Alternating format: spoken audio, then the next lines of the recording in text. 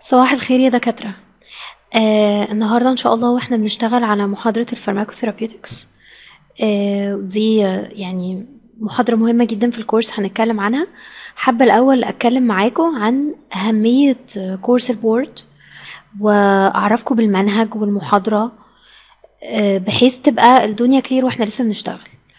آه أنا اسمي باكينام مجدي آه خريجة سنة 2008 في سنة 2010 أخدت دبلومة clinical pharmacy وبعدين من عين شمس وبعدين آه، خريجة عين شمس أصلا. آه، في 2012 أخدت board ال pharmacotherapy وفي 2014 أخدت ال board of nutrition support والحمد لله الاتنين كانوا في, في وقت قديم فالاتنين اتعادلوا بماجستير. آه، من 2009 من أول 2009 بشتغل clinical pharmacist بقالي دلوقتي حوالي 11 سنة. اشتغلت منهم حوالي سبع سنين في المركز الطبي العالمي. آه وبعدين آه رحت المعادي العسكري بقيت consultant of clinical pharmacy هناك. آه بشتغل آه في جامعة مصر الدولية من سنة 2012 آه مدرس مساعد بدرس آه clinical pharmacy. كذا curriculum يعني. ال board بتاع nutrition support في الحقيقة آه، شدني في الأول إن أنا أذاكره لأنه أولا board نادر آه، board ال nutrition أقل كتير قوي الناس اللي بتدخله عن board ال pharmacotherapy ثانيا هو board سهل. مش سهل بمعنى إنه هننجح من غير مذاكرة بس سهل إن أنت تقدر تحقق فيه score وتنجح. آه، مقارنة بال pharmacotherapy topics تانية خصوصا إنه ال curriculum كله على منهج واحد آه، ماشي بتسلسل. number 3 هو كورس لذيذ يعني ليه علاقة آه، بحاجة إحنا كلنا بنعملها اللي هي الأكل. آه، وليه علاقة أكتر بمجال الأكل في المستشفيات كمان. العيانين اللي محطوطين على أنابيب بياكلوا برايل أو الناس اللي بتاكل عن طريق TPN والمحاليل الوريدية. ال- اللي هو ال total parenteral nutrition وهنشتغل عليه إن شاء الله في الكورس. فالشغل ده مفيد جدا وقليلين اللي عندهم experience فيه آه، أو مذاكرينه. وبيطلب مننا كتير ك clinical pharmacist و... وفي الحقيقة هو شغل إنساني جدا جدا لأنه العيانين بيتحجزوا بيقعدوا فترات طويلة من غير أكل. بيخسوا آه، يعني بيخسوا أرقام كبيرة. يعني بعدين هتاخدوا قدام إنه عيان السبسس مثلا لو ما بياكلش بشكل كويس آه، ممكن يخس في اليوم ربع كيلو مصل. فالشغل مهم جدا وآدمي وأخلاقي جدا وفي نفس الوقت مفيد قوي قوي لأي clinical pharmacist أو أي صيدلي حابب يكون آه، عنده آه، كويسة. آه، ال board آه، ميزتها دلوقتي آه، الحقيقة حاجتين. number one إنه النقابة بقت بتعتبرنا أخصائيين آه، بعد ما بناخد ال board فبتبقي معاكي certificate بتقول إن انت ليكي حق تتكلمي في التغذية. number 2 طبعا ده غير إن ال board نفسها شهادة محترمة جدا. آه، وشهادة ال board بالذات تقيلة لأنه مش بس هي معمولة من ال Board of Pharmacy Specialties هي كمان معمولة من ال ASPEN. يعني هي شراكة ما بين ال ASPEN ال American Society of Parenteral and Enteral Nutrition وال BPS هي الشهادة المختصة بالصيادلة اللي عايزين يمتحنوا ال ASPEN. فبالتالي هي مفيدة وفيها solid background آه، كويسة جدا. آه، والحاجة المهمة إنه المستشفيات دلوقتي اللي واخدة JCI accreditation أو بتحاول تاخد JCI accreditation بقى مهم قوي إنه ال team اللي بيشتغل عندها في nutrition support يكون board certified. ف في كتير ناس بيشتغلوا في nutrition support قليلين قوي اللي board certified فبالتالي اللي بياخدها بي boost ال opportunity بتاعته إن هو يبقى موجود في مستشفى ويشتغل الشغل اللي هو بيحبه.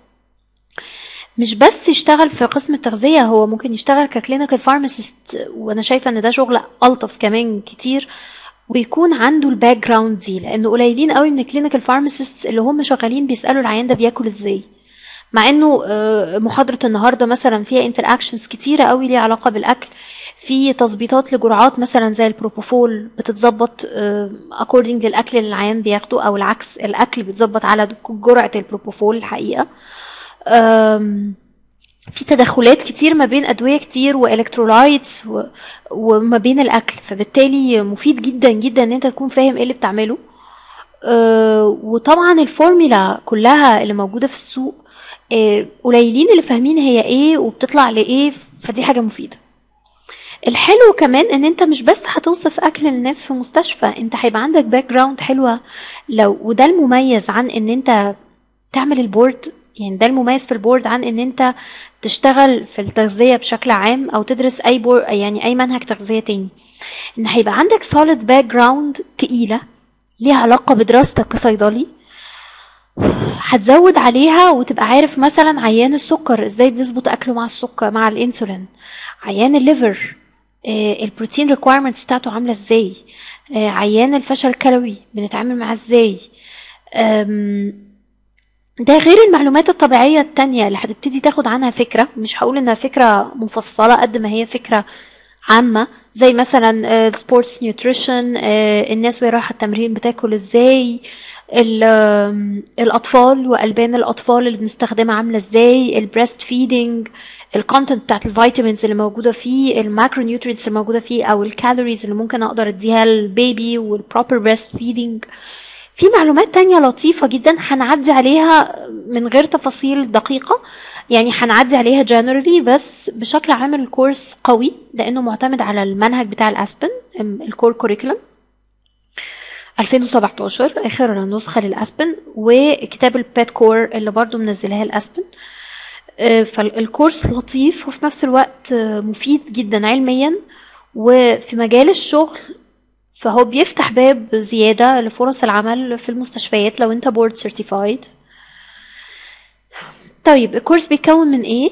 ال course عبارة عن جزء ليه علاقة بال بال basics يعني ال vitamins ال macronutrients ال energy requirements بتاعت الناس عاملة إزاي. في جزء تاني أو module تاني إحنا بنسمي دايما الجزء module في module بيتكلم عن أمراض محددة بنبتدي ناخد كل أسبوع مرضين مثلا ال liver و pancreatitis مثلا ال GI ال GI disease مثلا يوم بنتكلم مثلا عن ال neurological problems أو المشاكل اللي ممكن نشوفها في رعاية مخ وأعصاب أو في الجراحة. طبعا المشاكل ليها علاقة بالأكل وتظبيط الجرعات فبنمشي في الأمراض لغاية ما بنخلصها وبعد كده بننقل على جزء الأطفال.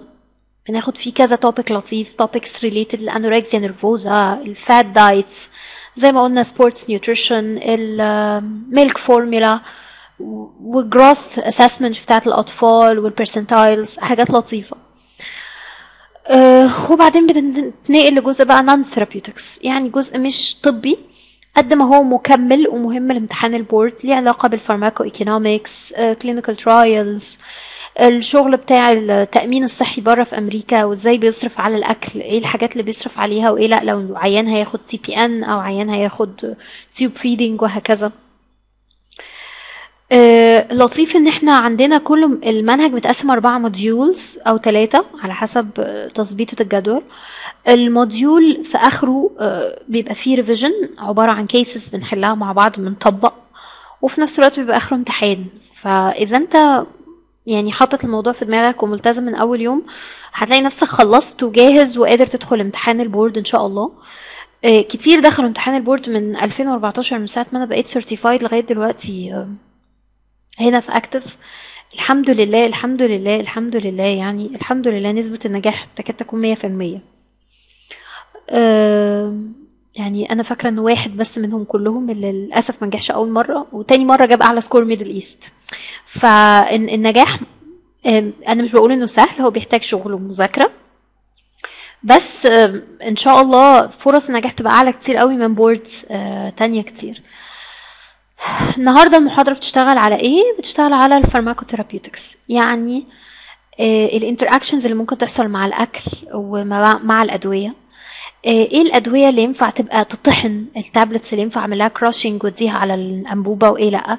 إيه ال capsules اللي ينفع تتفتح وإيه لأ. ال proper administration بتاع ال intravenous preparations مع بعض. ال incompatibilities اللي بتحصل ما بينهم. الأسئلة اللي بنسألها دايما من التمريض اللي ليها علاقة بإنه آه، أنا فتحت vial الراسفن الباقي هيترمي ولا يتحط في التلاجة؟ إزاي يجيب معلومات ال stability دي؟ فهي معلومات مهمة ليها علاقة بالصيادلة. وما بتعملش resistance يعني انت لما بتشتغل عليها ما بتحسش انه مثلا آه، بيبقى فيه recommendation تقيلة هتقولها وخايف ما تبقاش مؤهل تقولها. لا هي حاجات في core شغلك وفي core دراستك بالذات ال ceutics وبتبقى مفيدة جدا للتمريض وبيحبوا يعرفوها. آه، فتعالوا نبتدي المحاضرة مع بعض. ال pharmacotherapeutics اللي هي ال food drug interaction وخليني قبل ما أشتغل معاكم أكتر في موضوع ال drug interactions مع ال Ryle ومع TPN أعرف لكم إيه أنواع ال interactions أو التفاعلات اللي ممكن تحصل ما بين الأكل وما بين الأدوية بشكل عام. whether الأكل ده بقى أنا باكله عادي عن طريق المعدة والدنيا سليمة وكل حاجة من غير أنبوبة أو لأ. هما خمس أنواع من ال drug interactions مع مع ال food. النوع الأولاني بنقول عليه physical interaction. وكلمة physical معناها إنه في حاجة physical أنا شايفاها بعيني. في علامات قدامي للتفاعل. يعني مثلا ممكن جدا آه، أحط الدواء مع أنبوبة ال Ryle ألاقي الأكل اتسد وانبوب سد أنبوبة ال Ryle. دي حاجة فيزيكال أنا شايفاها بعيني. ممكن مثلا أضيف الحديد على إزازة ال lipids ألاقي إزازة ال lipids فصلت اللبن طلع لفوق وفي مية. ده بيسموه physical interaction زي مثلا الترسيبات كل ده physical interaction. الفورميلا بتاعت ال EN لو كلكعت formula ال Ryle كلكعت وسدت ال tube بيقولوا عليها curdling مكتوبة قدامكم هنا بالذات البروتين بالذات لما يكلكع بنقول عليه curdling كل ده physical interaction لأن أنا شايفاه. ده أول نوع من ال interactions تاني نوع من ال interactions بنقول عليه pharmaceutical interaction. يعني إيه pharmaceutical interaction كلمة pharmaceutical يعني ال dosage form اتغيرت. يعني إيه ال dosage form اتغيرت؟ يعني مثلا أنا كنت بدي العيان ده Tegretol CR ممتد المفعول. عشان اديه للعيان ده على ال Ryle اضطريت إن أنا أطحن القرص. فدمرت ال layer اللي كانت معمولة وبتحافظ على الريليز بتاع الدواء فما بقاش CR خالص. فكده نقدر نقول إن ال dosage form بتاعت الدواء اتلخبطت.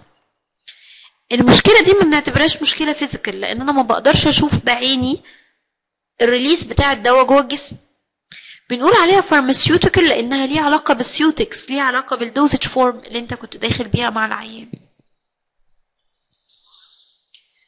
مثلا دواء sublingual بتديه للعيان يتحط تحت اللسان. المفروض إن هو بيتحط تحت اللسان فالامتصاص تحت اللسان بيبقى عالي جدا جدا جدا وبيتمتص كويس جدا. لو العيان بتاعي ده نايم ومتركب له أنبوبة مش هديهوله تحت اللسان هطحنه وأديهوله على الأنبوبة هيروح المعده أكيد الامتصاص بتاع الدواء مش هيبقى زي الأول فمش هيجيب نتائج كويسة زي الأول.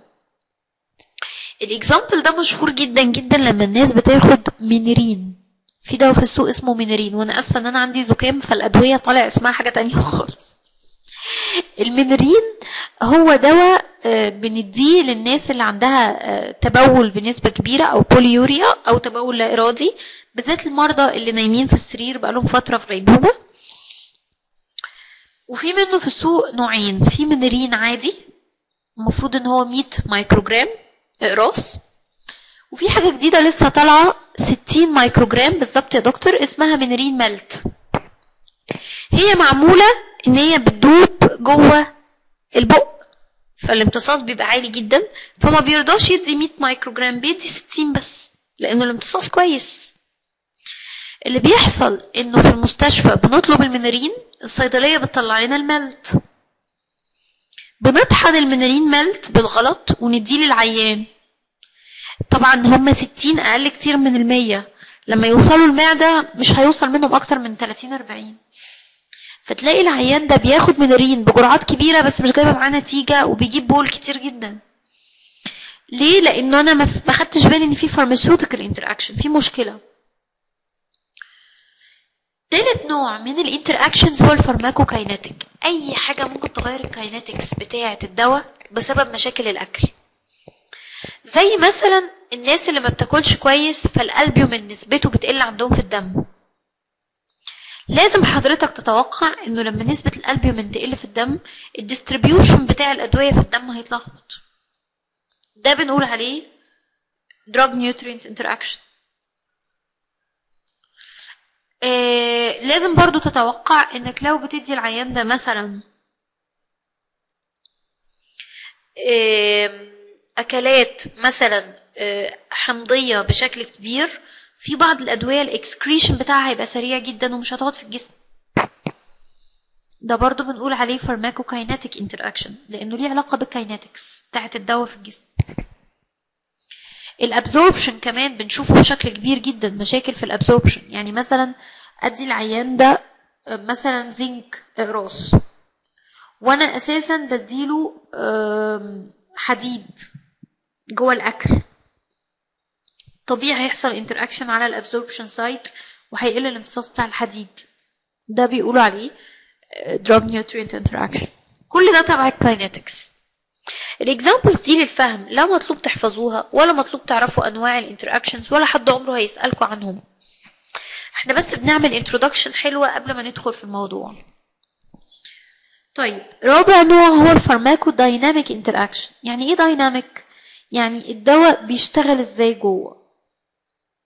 يعني مثلا أنا مثلا ممكن أدي العيان ده antibiotic بيحرم البكتيريا من ال folic acid زي مثلا ال Septrin كل السلفا في نفس الوقت أدي العيان ده folic acid إقراص أو تبع الأكل أكل فيه folic acid. طب ما أنا كده لخبطت البكتيريا اديتها ال folic acid وفي نفس الوقت جاي أحرمه من ال folic acid فلخبطت الدنيا. ده interaction بس بيقولوا عليه dynamic interaction لأنه ملوش علاقة بال kinetics ليه علاقة بشغل الدواء أو بطريقة عمل الدواء.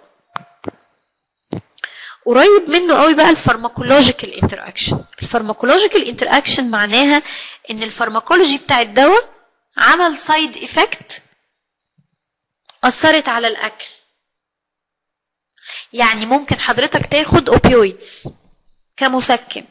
ال opioids بتعمل constipation فتلخبط لي أنا لا امتصاص الأكل والتعامل معاه. ده دي اسمها pharmacological interaction عشان ليها علاقة بال side effects بتاعة الدواء اللي اتاخد لغاية هنا أنتوا تمام؟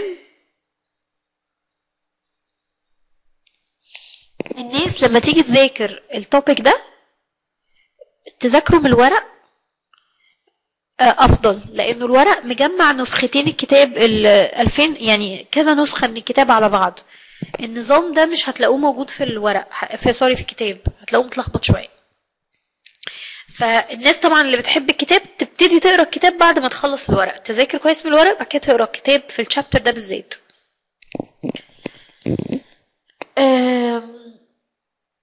طيب بالنسبة لل physical interactions إحنا خلاص اتكلمنا عنها. إحنا حكينا على كل نوع من ال interactions وهتلاقوا مشروح هنا كلام أكتر عن ال interactions.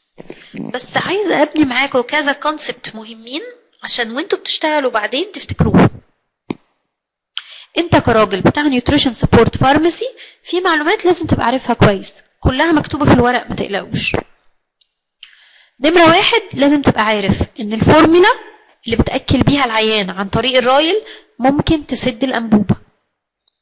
أكتر content فيها ممكن يسد الأنبوبة هو ال fibers. تاني content ممكن يسد الأنبوبة هو البروتين.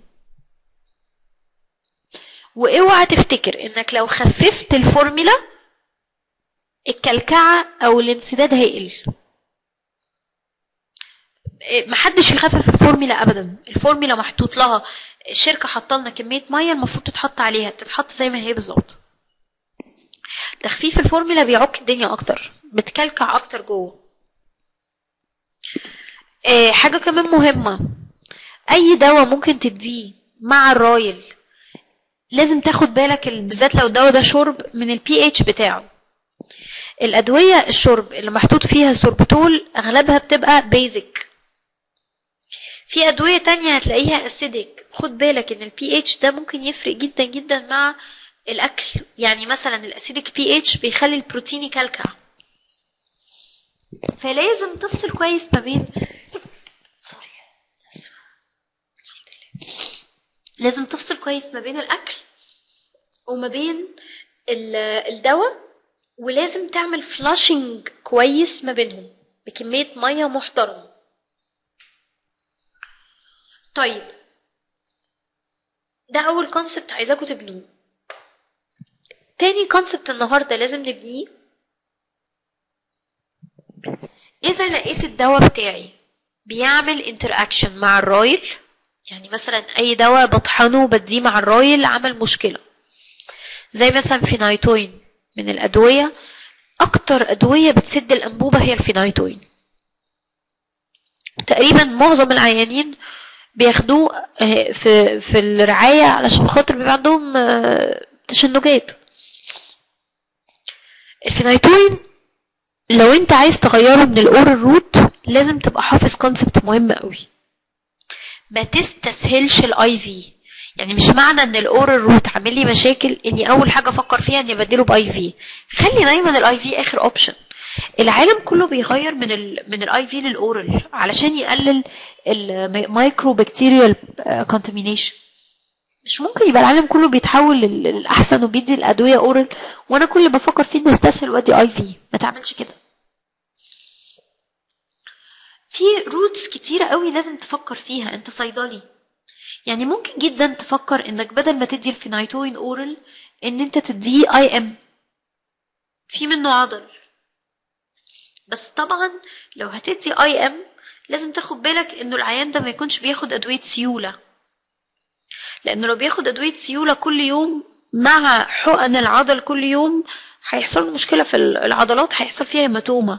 يعني هينزف جامد منك أو هي يعني العضلات هت- هتكلكع وهيبقى فيه زرقان والدنيا مش هتمشي حلو. إنما العضل option كويس. في كتير في رعايات مخ وأعصاب ماشيين دايما ال phenytoin IM خصوصا إن الفينايتوين من الأدوية وده مكتوب ورا ما تقلقوش من الأدوية اللي بتحتاج إن أنت تبعدها عن الأكل عن طريق الأنبوبة على الأقل ساعتين. ساعتين قبل الدواء ما تديه وساعتين بعد ما تدي الدواء. أو ساعة وساعة في أحسن تقدير. فأنت بتتكلم على إنه بيعطل الأكل فترة طويلة. يعني لو عيان ماشي مثلا على continuous infusion من الأكل كل مرة هديله فينايتوين هوقف ال infusion ساعة قبل وساعة بعد يعني ساعتين. العيان ده لو بياخد الفينايتوين ثلاث مرات في اليوم حضرتك بتتكلم في ست ساعات واقعين من الأكل. يعني ربع الوجبة ربع ال calories راحت. ف فالتفكير دايما يبقى في ال routes التانية وإحنا كصيادلة نقدر نتصرف. مثلا ممكن ساعات تلجأ لل subcutaneous route يعني بدل ما تدي العيان ده مثلا nitroglycerin oral ما تروحش على طول وتفكر إنك تدي nitroglycerin IV. لأنه المفروض ما نروحش لل IV بسرعة. فكر في ال subcutaneous ما تلزق له لزقة نيترونال يتلزق على صدر العيان تجيب النتائج من غير مشكلة ومن غير interactions مثلا آه، فكروا كتير في ال rectal route إحنا ما بنستخدمش اللبوس كما يجب. في لبوسات كتير قوي بتجيب اكشن لطيف وبتبعد مشاكل المعدة عن العيانين ممكن نبدل فيها. sorry أنا كنت بتكلم عن ال transdermal route وأنا بتكلم عن النيتروجليسرين مش ال subcutaneous. أنا آسفة. في مثلا بدايل في السوق ممكن الواحد يستخدمها. ويبعد عن المشاكل خالص اللي ممكن تحصل مع ال Ryle وهناخد examples دلوقتي مع بعض. يبقى إحنا دلوقتي بنبني concepts حضرتك كصيدلي ليك علاقة بال nutrition لازم تبقى عارفها. اتكلمنا عن إيه دلوقتي؟ عن concept مهم. ليه علاقة لو في مشكلة في في الدواء مع الأكل وبيسد الأنبوبة من فضلك لو هتغير ال route ما تجريش على ال IV حاول على قد ما تقدر تفكر في ال options التانية ال dosage forms التانية اللي موجودة من الدواء. ساعات بيبقى ممنوع إننا نطحن الاقراص ولو ممنوع تطحن الاقراص بيبقى الدواء الشرب أسهل وألطف وحل مثالي. الدواء الشرب دايما لما بنيجي نحضره بنحاول نحضره بالكتير مع خمسة ملي مية مثلا. لو هنديه على الأنبوبة لو اديته حضرتك في مية أكتر من كده بيقف على الأنبوبة وبيترسب فبالكتير بنخففه في خمسة ملي مية. بتحس إن أنت عامله كده في صورة آم، آه، يعني حاجة آه، تكون آه، عاملة شبه الصوص شوية يعني تقيلة. الصوص التقيل ده إحنا كصيادلة بنقول عليه كلمة slurry S L U double R Y slurry يعني الدواء اتحل بمية قليلة فال viscosity أو اللزوجة بتاعته لسه موجودة فعامل زي الصوص. ده معنى كلمة slurry فأنا لو الدواء بتاعي ما ينفعش يتطحن أكتر حاجة أفكر فيها إن أنا أجيب الدواء ال oral اللي هو الشراب وأعمله في صورة slurry أحضره بشوية مية قليلين وأديه للعيان. دي أحسن حاجة. لو مش قادرة أستخدم الدواء الشرب غصب عني بقى هضطر ألجأ للإيه؟ لللبوس أو ال IM أو ال subcutaneous أو المتاح. طب أنا إمتى ما أقدرش أدي الدواء الشرب؟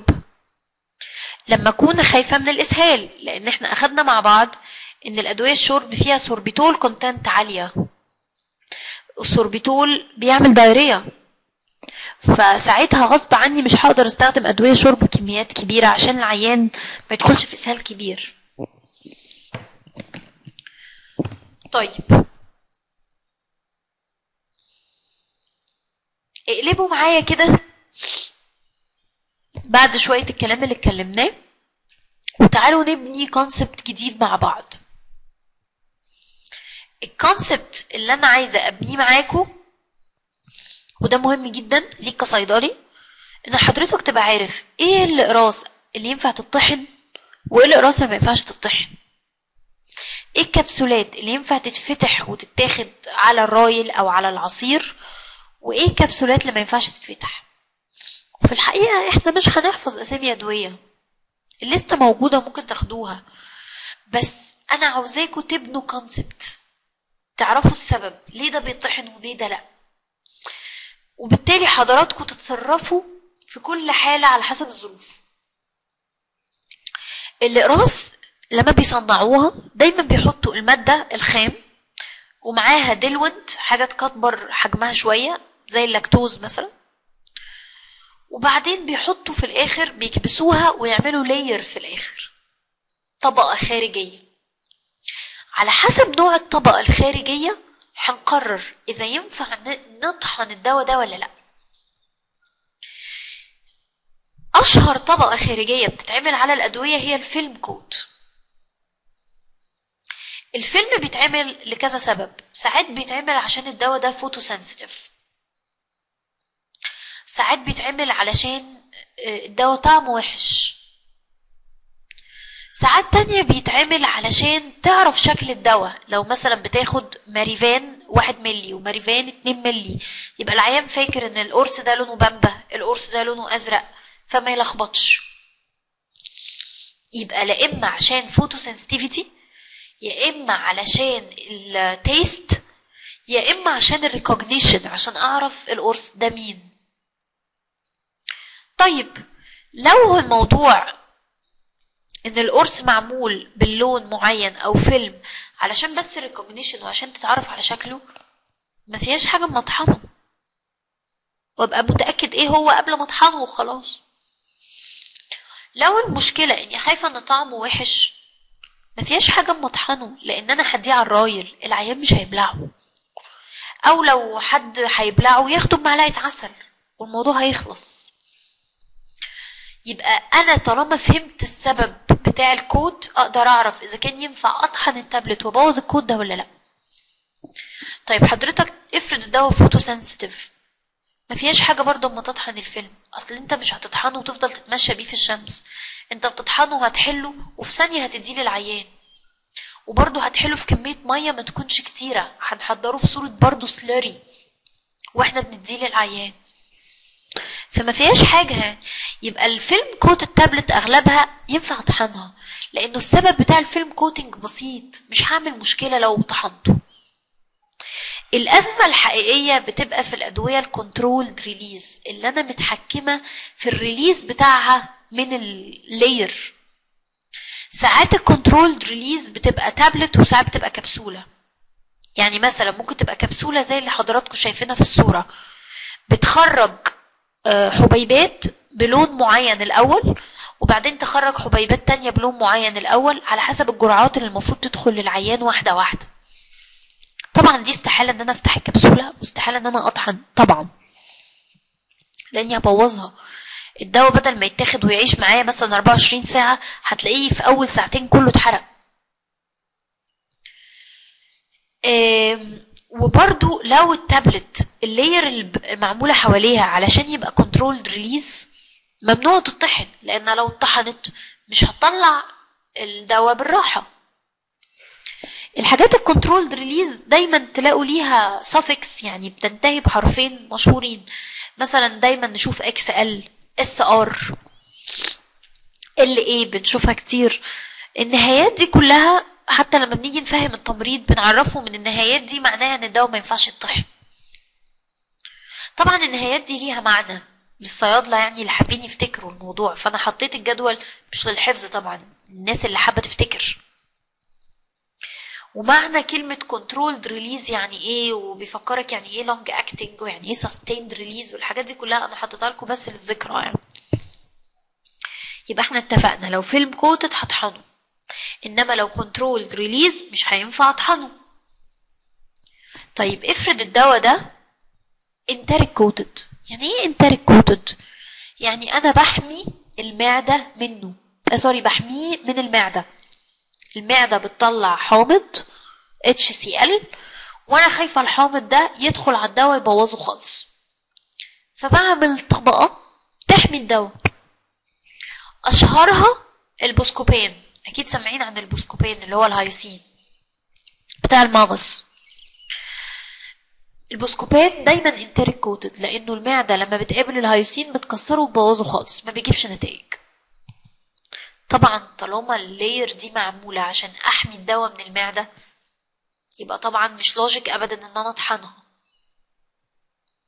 لو أنا مضطر جدا جدا إن أنا أطحن ال layer ال enteric coated دي يبقى لازم الدواء ده أحطه في بايكربونات بحيث يبقى مغلف بال alkaline pH لغاية ما ربنا يكرمه ويعدي من المعدة.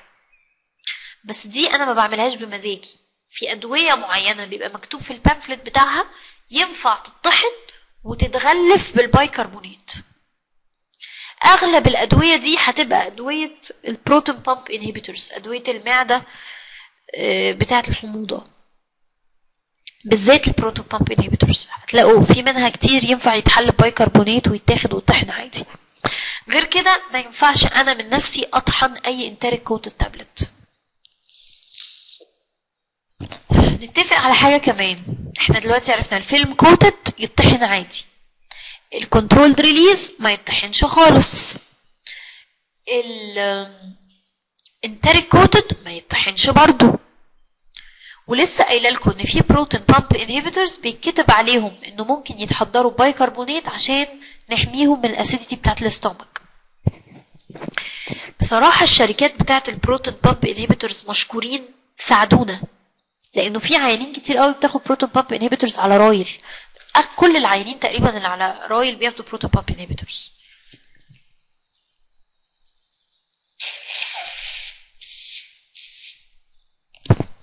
فلازم يبقى في proton pump inhibitor available نديهولهم. هتلاقوا يا جماعة إنه في آه، حبيبات بتتباع في السوق من بعض ال proton pump inhibitors بس للأسف مستوردة.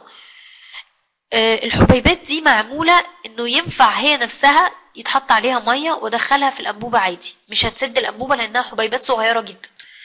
عاملة زي آه، لو تفتكروا لبان Chiclets كان زمان بيعمل آه، لبان صغنن قوي قوي قوي ده. اللي هو الواحد كان بياخد منه كتير كبشة ما بياكلش منه لبانه ده معنى كلمة pellets أو حبيبات. زي اللي أنتوا شايفينه قدامكم في الصورة. الحبيبات دي بتتحضر بالمية وبتحافظ على نفسها في المعدة وبتتفتح وقت ما يكون المفروض إن هي تتفتح. طبعا دي فكرة عظيمة.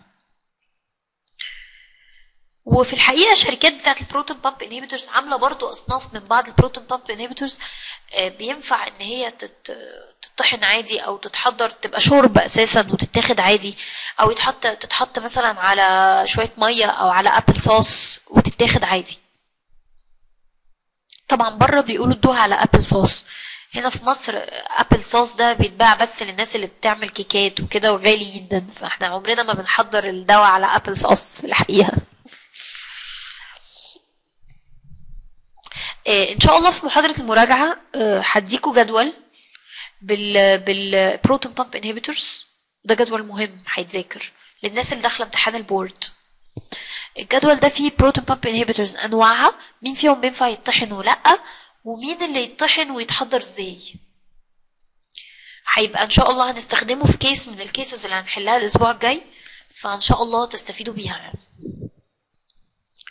طيب إحنا كده آه، بنينا مع بعض كذا كونسبت وعرفنا إيه اللي بيطحن وايه اللي ما بيطحنش وازاي نقدر نحدد الدواء ده يطحن ولا لا. الصورة اللي قدامكم دي أنا عملتها سنة تقريبا 2010 كان عندي آه، كنت لسه بقى عارفة إيه الأدوية اللي بتطحن وايه لأ ولميت الأدوية اللي في المستشفى عندي أياميها اللي كان ينفع تطحن وعلقتها لل... للتمريض. sorry إيه اللي ما ينفعش يطحن وعلقته. لو حضرتك عاوز تعمل ده دلوقتي وت... وتحضر لستة ليها علاقة بالمستشفى أو بالمكان اللي حضرتك بتشتغل فيه الموضوع سهل. هنعمل إيه؟ هنفتح website اسمه مكون من أربع حروف. I S M P I S M P Institute of Safe Medication Practice.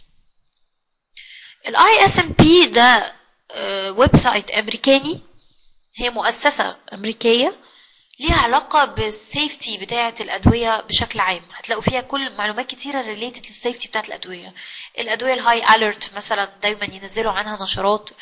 ال opioids التعامل معاها. أم، الأدوية اللي ينفع تبقى crushed والأدوية اللي ما ينفعش تبقى crushed ال ISMP بتنزل لستة لطيفة جدا بالأدوية اللي ينفع تبقى crushed والأدوية اللي ما ينفعش تبقى crushed والليستة دي ميزتها إنه بيكتب على الأدوية السبب ليه ما ينفعش أعمل له crushing في دواء ممكن يقول لك أنا ما ينفعش أعمل له crushing عشان طعمه وحش. لو حضرتك مزنوق اديه للعيان عادي وهو طعمه وحش. ما هو أصل العيان مش فايق ما بيدوقش.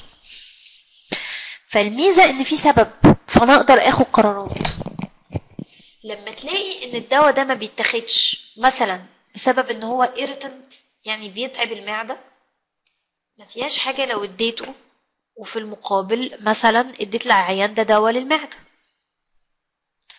ما فيهاش حاجة لو حولته لبوس مثلا بالذات ال non steroids المسكنات دي ما فيهاش حاجة لو حولتها لبوس الناس بتنبسط جدا من ال Profenid لبوس ومن ال indomethacin لبوس وال Voltaren لبوس. الحاجات دي بتجيب نتائج حلوة جدا بالذات لو الألم في النص ال part ال lower parts فليه ما نعملش كده؟ افرض الدواء sustained release خلاص ده أنا فاهمة إن ما ينفعش أطحنه. لازم أبدله. ال Tegretol مثلا CR بيتبدل ب Tegretol وبنغير الجرعة. ال Cardura XL بيتبدل بال Cardura العادي. وبنغير الجرعة. أنا بقى بشغل مخي في الموضوع. يعني مثلا في Vastarel MR في السوق. ما ينفعش يطحن عشان هو MR. ممكن أغيره بمادة تانية فيها trimetazidine وأديها. ما تكونش MR. يعني أغير بقى التغييرات طالما أنا فهمت. Diamicron MR هيتغير Diamicron وهنظبط الجرعة. لو حضرتك clinical pharmacist أساسا واخد pharmacotherapy وعارف الجرعة بتتظبط إزاي يبقى كويس. هتظبطها وهتعمل ده مع الدكاترة. لو حضرتك مش عارف ده وشغلتك mainly nutrition هتنبه الصيدلي clinical وهيعمل ده بدالك أو هيعمل ده معاك.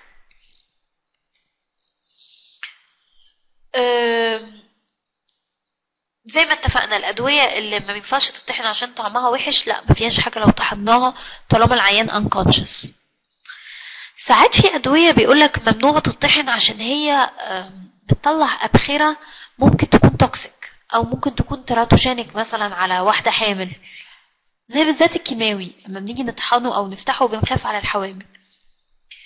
في الحقيقة آه، أنا في الظروف اللي زي دي لما بيكون عندي عيان في الرعاية ومحتاج الدواء ضروري بقول لهم اطحنوه عادي بقول لهم افتحوه عادي والبسوا mask. يعني أنا أقدر أتصرف طالما فهمت السبب بتاع إني ما ينفعش أطحنه. فاطحنه وأنا مثلا في الجهاز بتاع ال laminar ببقى متأكدة إن الأبخرة مش هتعدي عليا. أو أحط كمامة وأشتغل عادي. ما فيهاش حاجة. ده منظر أنا خدته من الليستة بتاعة ال ISMP اللي حاطة فيها الأدوية وقصادها إيه السبب إن الدواء ده ما يطحنش طلعوا بقى أنتوا من ضمن الأدوية دي إيه الأدوية اللي تخصكم أنتوا في المستشفى بتاعتكم أنتوا واعملوا الليستة الخاصة بيكم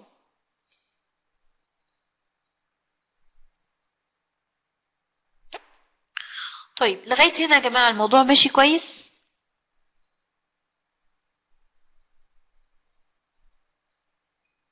تمام. تمام يا دكتور عبد الفتاح؟ تمام يا فندم. طيب يعني ممكن ربنا يكرمنا إن شاء الله النهارده ونخلص بدري. ال part اللي جاي ده بيشرح ال pharmacokinetic interactions اللي أنا شرحتها معاكم في الأول في المقدمة بتاعت ال chapter ده. بصراحة مش عايزاكم توجعوا دماغكم قوي إن أنتوا تقروا الكلام ده لأنه في الكتاب متكلم كتير قوي عن الموضوع وللأسف إحنا ما عندناش data كتير عن ال pharmacokinetic interactions لأنه أغلبها ما بيتعملش عليه studies كفاية ما بنعرفش حصل absorption بنسبة قد إيه للدواء. فمش ت- تبذلوا فيه مجهود أزيد من اللازم خلينا نركز في الحاجات اللي أنا بقولها أكتر. هستفيد بيها أكتر. اقروا بس الكلام اللي أنا معلمة عليه بالأصفر. لو وقتكم ضيق قوي يعني. طيب. أنا بقلب الحاجات بقى اللي أنا حكيت لكم عنها.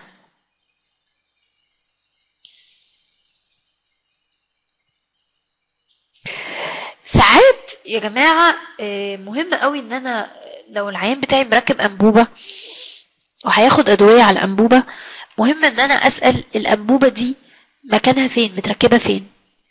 يعني مثلا افرض حضرتك الأنبوبة بتاعت العيان متركبة في ال intestine ما بتعديش على ال stomach. هل ينفع إن أنا أدي أدوية محتاجة ال stomach في ال absorption بتاعها؟ أكيد لأ لأن كده الأدوية مش هتلاقي stomach مش هتلاقي acidity مش هتعرف تمتص. في أدوية مشهورة جدا جدا. ما بتحبش ال stomach خالص. آه sorry بتحب ال stomach جدا ما بتحبش ال intestine خالص.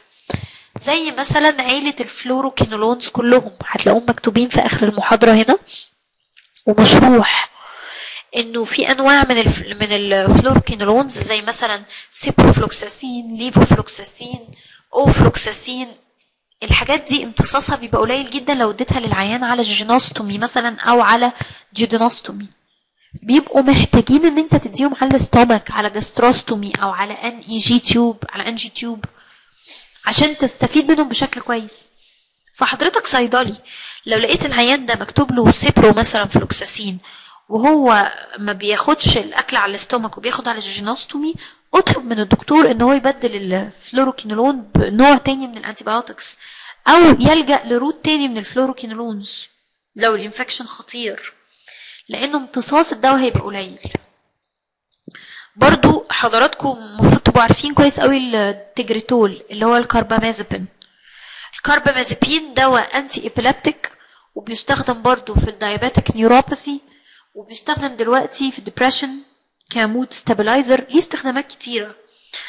الكاربامازيبين آه، من الحاجات اللي برضو ما بتحبش ابدا إنها تروح small intestine امتصاصها أحسن جدا في ال stomach فلو العيان ده برضو على jejunostomy مش صح إن أنا أديله كاربامازيبين المعلومات دي حلوة جدا لأن محدش عارفها غيركم بس للأسف المعلومات دي قليلة لأنه ما بيتعملش studies كتيرة تعرفنا بقى معلومات وخبايا زي دي عن الأدوية. فمهم إن حضرتك تبقى عارف ال location بتاع ال feeding tube فين آخرها فين. هتوصل الدواء للعيان ولا لأ؟ وعلى العكس في أدوية ما بتحبش ال acidity خالص. لو حضرتك هربتها من ال stomach تنبسط. زي مثلا ال digoxin. digoxin من الأدوية اللي لما تديها على ال jejunostomy يجيب نتائج أحسن كتير. ده لازم لازم تاخد بالك لحسن يبقى toxic مهم برضو إن حضرتك لما تدي دواء للعيان بتاع ال Ryle تاخد بالك إنك ما تديلوش دواء بسر يسرع ال motility. أو أي عيان على فكرة. لما تديله قرص غالي ما تديلوش بعدها مثلا Motilium لأنه هيسرع حركة الدواء مش هيديله فرصة كفاية إن يحصل له absorption بنعمل كده دايما ناخد بالنا دايما لما بنيجي ندي أدوية بعد عمليات الزرع. الأدوية ال immuno بعد الزرع اللي هي زي ال Prograf والحاجات دي هنتعرف عليها إن شاء الله قدام إيه إيه غالية جدا. القرص ممكن يوصل ل 40 50 جنيه دلوقتي. أو أكتر يمكن. آه، الأدوية دي لو اتاخد معاها أدوية معدة بتسرع حركة الأمعاء ما بتلحقش يحصل لها امتصاص فبتخسر مثلا نصها فحرام. لازم تغير التوقيتات تظبط التوقيتات. آه، برضو العيان اللي بتعمل له تشفيط decompression أو suction أغلب العيانين بيتعمل لهم تشفيط. لازم ميعاد التشفيط يبقى بعيد عن ميعاد الأدوية. لأنه الأدوية هتتشفط كلها هتطلع. فلازم تفصل. كل دي sense محدش يعرفها غيرك بتاع nutrition support pharmacy وده الفرق بينك وما بين ال physician يعني أو ال clinical nutritionist إنه حضرتك شغال أدوية فاهم الكلام ده أكتر. عايزة بقى أدخل معاكم على حاجة تانية خالص؟ بس مهمة جدا جدا وبرضه هتبقى لعبتك أنت بس. ساعات بنتسأل أسئلة حتى في الصيدلية. يتقال لنا يا دكتور أنا مثلا اديت لابني نص حقنة ال ceftriaxone النص التاني من الحقنة أخليه ولا أرميه؟ أحطه في التلاجة ولا ما أحطوش؟ هل بيبوظ من المية آه، من sorry من الضوء ومحتاج يتغطى ولا لأ؟ ساعات بنتسأل أسئلة عن ال stability بتاعت الأدوية. وساعات بنتسأل أسئلة عن ال compatibility يعني مثلا يقول لنا هل ينفع إن أنا مثلا أحضر حقنة ال ceftriaxone مثلا وأحط معاها مسكن على نفس الحقنة؟ ولا ده يبوظ- يبوظوا بعض؟ الأسئلة دي ما بنتسألها ما بنعرفش نجيب الح- الحلول لأنه ال package insert أو ال pamphlet بتاعت الدواء ما بتبقاش حاطة الإجابات. الأسئلة دي إجابتها هتلاقوها في كتاب مهم جدا هو أهم حاجة النهارده هتعرفوها ما بيجيش الامتحان بس ده ليكم الكتاب ده اسمه Handbook on Injectable Drugs بتعمله هيئة اسمها ال American Society of Health-System Pharmacists وبتنزل منه edition كل سنة. المؤلف الرئيسي في الكتاب ده اسمه Lawrence Trissel فهتلاقي أغلب الناس عارفة الكتاب باسم Trissel كتاب مشهور جدا يعني أغلب الناس اللي شغالة في مستشفيات عارفة Trissel كتاب محترم جدا جدا جدا للأدوية ال IV خدوا بالكم ال IV بس. مش هتلاقوا ال IM مش هتلاقوا ال subcutaneous ال IV بس. بيتكلم عن كل دواء. طبعا mainly الأدوية ال FDA approved الأدوية اللي مش واخدة approval مش هتلاقيها. في بعض الأدوية الناس بتوع ال oncology هيبقوا عارفين إنها مش موجودة. مثلا زي ال monoclonal antibodies مش هتلاقيهم خالص. أو دلوقتي بدأوا يدخلوهم واحدة واحدة. أي دواء حضرتك عايزه هتدور عليه هتلاقيه نمرة واحد بيقولك ال stability بتاعته هو نفسه هو مثلا ك vial. لو حضرتك بس فتحته وسحبت منه وسبت الباقي يعيش قد إيه؟ طيب افرض هو powder وحضرتك حليته عملت له reconstitution هتلاقيه بيقولك ال reconstituted vial بيعيش قد إيه؟ طب افرض حضرتك سحبته وحطيته على محلول ملح وعلقته مثلا للعيان يعيش قد إيه؟ فهتلاقيه بيقول لحضرتك stability of diluted solution. طب افرض حضرتك عايز تحط دوايين على بعض. هتلاقي برضو بيقول لك ال compatibility ما بين الدوايين دول وبعض. لو عايز تعرف الدواء ده بيتحضر على saline ولا على جلوكوز ولا على Ringer هتلاقيه كاتب. لو عايز تعرف الدواء ده ينفع يتحط في سرنجة ولا بيتفاعل مع البلاستيك ولا لأ هتلاقيه كاتب. لو عايز تعرف الدواء ده photosensitive ومحتاج يتغطى ولا لأ هتلاقيه برضو كاتب. فبصراحة الكتاب مفيد وعلمني حاجات أنا ما كنتش عارفاها. يعني مثلا علمني إن أنا لو بحضر للعيان لازكس بجرعات كبيرة infusion أغطي الازازة عمري ما كنت بغطي اللازكس بس اتعلمت إنه photosensitive لو بكميات كبيرة بي اتش قليل. آه، علمني إن أنا أغطي ال vitamins حقن ال vitamins كلها لما أعلقها للعيانين البيكوزيم أو البيكومب بيتعلقوا على محلول ملح. علمني أغطيها. كتاب مهم جدا والميزة إنه موجود free free online لل يعني الصيادله بيدوا لبعض بيجتهدوا يدوا لبعض. أنا عندي online version قديمة شوية. لو حد يحب يبعت لي على واتساب الإيميل بتاعه أبعتها له. ال- الفيسبوك groups بتاعت الصيادلة المشهورة هتلاقوها دايما بتنزل ال- النسخ الجديدة بتريسل لأن الكتاب بصراحة غالي جدا. وبرضه في حاجة آه، المعلومات من تريسل ما تتاخدش وت- وتنصح بيها العيان غير لما يكون رجعت لل senior بتاعك. لأنه قراية ترسل محتاجة خبرة. مع الخبرة بتفهم الطريقة اللي بيتكلم بيها لأنه مش دايما بتبقى واضحة في الأول. فهستسمحكم بس قبل ما تطلعوا المعلومة في الأول ارجعوا للسينيورز فهم ترسل نفسه شوية محتاج آه، تجارب يعني. وخدوا بالكم ما تستهتروش ابدا الدكاترة بيحبوا يحضروا حاجات على بعض دايما. اولا علشان خاطر يسهلوا الموضوع على التمريض أو عشان يقللوا عدد المحاليل اللي بتتعلق. إيه، مش كل الأدوية ينفع تتحضر على بعض. وساعات لما بتقول للدكتور أو الصيدلي الدواء ده ما ينفعش يتحضر بيقول لي يا باكينام أنا حضرتهم وما عملوش أي راسب وخلاص. لا حضرتك مش شايف الراسب. حضرتك عشان تشوف الراسب لازم يكون أكبر من 50 micrometers بس في رواسب أقل بكتير من 50 micrometers لا ترى بالعين المجردة بس ممكن تسد شرايين وتعمل وفاة. وساعتها حالات الوفاة ما بتتفهمش إنها بسبب اللخبطة دي. بيفتكروا مثلا إن هي إنه العيان already terminal إن العيان تعبان أو أي سبب تاني. جات له جلطة بسبب الرقدة أي حاجة. وده غلط. فما تحضرش دواء اتنين على بعض ما تعملش mix غير لما تكون حضرتك متأكد إن ال mix ده compatible. و please يا جماعة برضو في الصيدليات موضوع الحقن ال IM اللي بتتاخد على بعض دي لازم ن... لازم نبقى متأكدين إنهم ينفع يتحضروا على بعض. بس بصراحة في ال IM مش قضية قوي لأنه حتى لو في راسب هو داخل على العضلة مش مش مأساة يعني. إنما اي في هو اللي بيبقى مأساة كبيرة. في موضوع تاني برضو عايزة أفتحه معاكم في المحاضرة دي. هو نوع ال- الكونتينر اللي حضرتك بتستخدمه وبتحط فيه الأكل. هل بتحضر في إزاز ولا بتحضر في بلاستيك ده مهم جدا. لأنه البلاستيك بشكل عام مش صديق الأدوية. إلا طبعا ال plastics الجديدة اللي طلعت ال polyvinyl اللي زي مثلا شركه أوتسوكا مثلا. الإنسولين من الحاجات اللي بيحصل لها leaching بشكل كبير جدا على البلاستيك بالذات. في plastics ممنوعة دلوقتي محرمة دوليا ما ينفعش تشتغل بيها اللي هي معمولة من ال DEHP لأنه حصل حالات وفيات وتسمم لأطفال. فبطلوا يستخدموها خالص.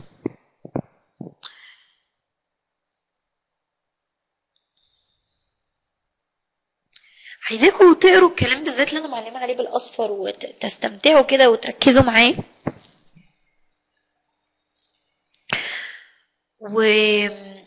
والجدول ده بيتكلم عن ال factors اللي ممكن تأثر على ال gastric emptying. يعني مثلا لو زودت ال viscosity بتاعة الدواء اللي بتدخل أو الأكل اللي بتدخل بيه طبيعي إن ال emptying هيبقى بطيء لأنك داخل بحاجة تقيلة محتاجة وقت في الهضم. لو زودت ال volume ال stomach بتاخد وقت طويل. في إنها تتعامل مع الأكل. إنما ال small bowel ذكي. بيبقى الأكل معظمه اتهضم. فلو ال- volume كتير مية بينزله بسرعة عادي ما بيفرقش معاه. إحنا اتفقنا مع بعض إن ال osmolality مثلا آه، ليها علاقة م- آم، مباشرة مع ال motility بالذات ال small bowel motility لو انت بتستخدم حاجة ال osmolality بتاعتها عالية ال small bowel هينزلها بسرعة جدا. ممكن يحصل إسهال أو dumping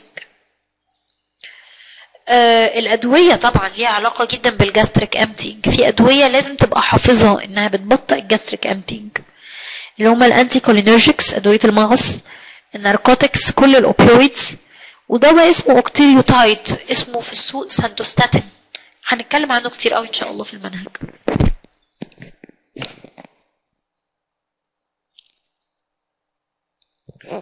طيب تعالوا نقلب مع بعض برضو ونقف عند نقطة تانية.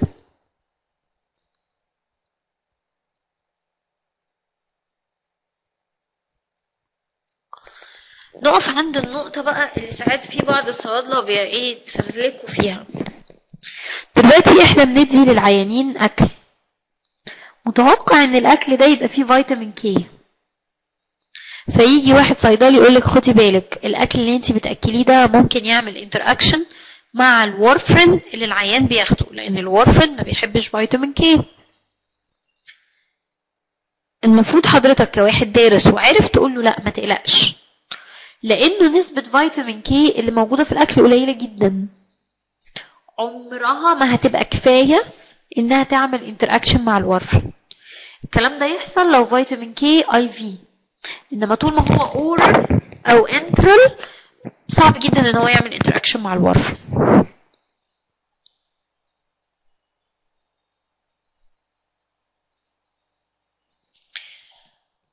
طيب الأدوية الثلاثه اللي إحنا اتكلمنا عنهم النهارده اللي هما ال phenytoin ال carbamazepine وال fluoroquinolones مشروحين عندكم هنا باستفاضة.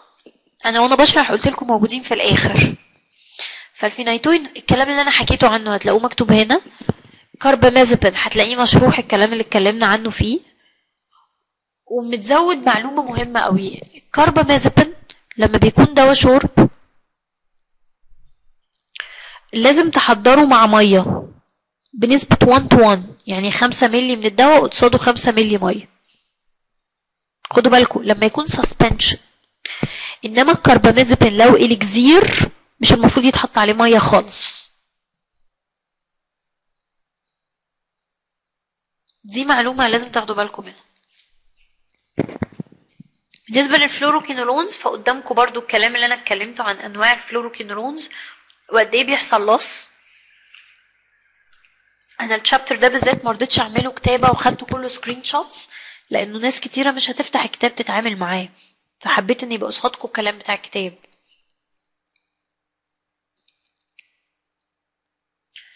أه، هتلاقوا هنا كذا سؤال MCQ لطاف. عايزاكم تقروهم وبعد إذنكم تحلوهم عشان اللي مش عارفينه نحله مع بعض الأسبوع الجاي في المحاضرة بتاعه ال revision وبعدين في آخر ال presentation هتلاقوا topic اسمه growth factors. ال topic ده إحنا كنا بنذاكره أو بندرسه. وبعدين اتشال من الكتاب. اتشال من نسخة 2012 واتشال من النسخة الجديدة بتاعت 2017 فالمفروض ما ندرسوش. أو بس أنا بصراحة بفضل إن أنا اديكم يعني فكرة عنه عشان برضو تبقوا فاهمين. ومش لازم تذاكروه. يبقى ما تذاكروهوش. أوكي؟ لأنه اتشال. بس اعرفوا مني الكلمتين اللي ممكن تستفيدوا بيهم. بصوا يا جماعة. الجروث هرمونز من أكتر الحاجات الأنابوليك في جسمنا. لأنه ربنا خلقه عشان نكبر عشان نبني. فبما إنه anabolic العلماء فكروا إن إحنا ممكن نستخدمه للناس اللي في الرعاية اللي حالتهم صعبة جدا و hyper catabolic إحنا قلنا العيانين بتوع ال stress أغلبهم hyper catabolic فتبقى فكرة حلوة لو أنا إيه اديت لهم دواء anabolic يساعدهم على البناء. في الحقيقة دي فكرة حلوة جدا. بدأوا فعلا يستخدموها لمرضى بالذات مرضى الحروق اللي في الرعاية. بعد فترة بدأوا يلاقوا side effects كتيرة جدا زي مثلا إن السكر بيعلى جدا. لأن growth hormone على قد ما بيساعد على البناء وال anabolism بس بيزود السكر بيزود الضغط وبيخلي الجسم يعبي مية. وفي الحقيقة لقوا جروبات أو group العيانين اللي بتاخد ال growth hormone عدد الوفيات فيهم كان أعلى. فال FDA نزلت إعلان قالت فيه يا جماعة أنا محدش يدي growth hormone تاني بيعمل مشاكل كتيرة قوي و hypertension وساعات بيعمل حاجة اسمها carpal tunnel syndrome اللي هو الصورة اللي حضراتكم شايفينها دي. الأعصاب اللي في الإيد دي بتلتهب. فال FDA قالت لهم بصوا إحنا مش هندي تاني growth hormone لأي عيان. بعد فترة فكروا وقالوا ما إحنا ندور على حاجة شبه ال growth hormone في الميزة بتاعته في ال effect بتاعته بس ما يكونش فيها ال side effects بتاعت ال growth hormone فبدأوا يستخدموا أو يطوروا مادة اسمها ال insulin like growth factor موجودة في الجسم. بتبني كويس بس تأثيرها على السكر قليل وما بتعليش الضغط وما بتعملش المشاكل بتاعت ال growth hormone. للأسف لغاية دلوقتي ما طلعت لناش في صورة دواء نستخدمه مع العيانين هما لسه بيشتغلوا عليها. بعد فترة قالوا طب ما إحنا ممكن بما إن ال anabolic steroids بشكل عام بتتاخد عشان تكبر ال muscles وتقويها. ما إحنا ممكن نستخدمها للعيانين اللي بيحصل لهم protein catabolism وبيخسروا ال muscles بتاعتهم.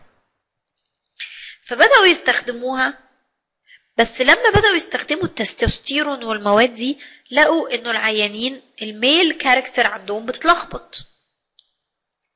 فقالوا لا إحنا عايزين المادة دي تكون anabolic وبتبني بس ما تكونش androgenic عشان ما تلخبطش ال hormones. فطوروا مادة اسمها oxandrolone. دي هستخدمها إن شاء الله لما أشرح لكم ال cancer ولما أشرح لكم ال HIV AIDS بنديها للعيانين عشان تساعدهم في ال anabolism وتساعدهم يعوضوا الخص يعني خسران الوزن الكتير اللي مروا بيه من غير ما تأثر على ال androgenic character بتاعت العيان. أنا كده الحمد لله خلصت النهارده. حد عنده أي سؤال؟ وخلينا فاكرين إنه الأسبوع الجاي لأ اللي بعده عندنا امتحان في أربع محاضرات. macronutrients micronutrients fluids و electrolytes وال pharmacotherapeutics اللي إحنا شرحناها النهارده محاضرة النهارده. خلينا نتفق إن الأسبوع الجاي إن شاء الله مراجعة لما سبق. هنحل كيسز ونحل الأسئلة بتاعت الامتحان إن شاء الله. لو حد عايز مني أي حاجة أنا موجودة على واتساب. نتقابل الأسبوع الجاي إن شاء الله. شكرا يا جماعة.